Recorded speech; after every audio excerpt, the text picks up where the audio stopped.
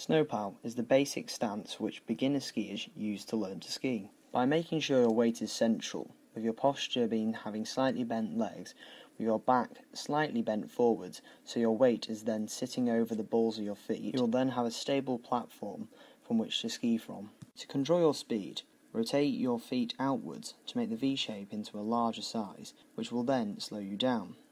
By reversing this, so that your feet are rotating inwards, to cause your skis to become near parallel again.